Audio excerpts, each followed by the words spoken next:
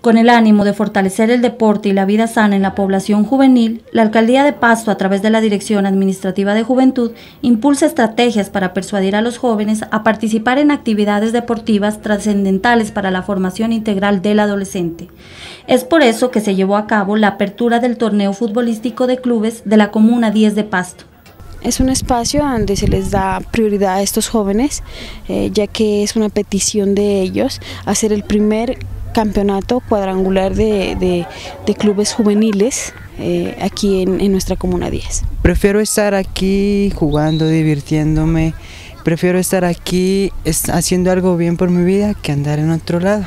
Adriana Franco Moncayo, directora administrativa de Juventud, recalca la importancia de fomentar y demostrar el talento futbolístico en los jóvenes pastuzos. Jóvenes que están vinculándose con procesos precisamente de, sano esparcimiento, de ocupación de su tiempo libre, y bueno, muy, muy orgullosos de estar en esta comuna que nos ha acogido también eh, a, nivel sobre todo de los adolescentes y jóvenes. Tenemos muchos jóvenes amigos acá en la Comuna 10 y realmente los esfuerzos de todas las instituciones son son muy importantes porque vamos articulando, eh, digamos, entre todos un proceso relevante.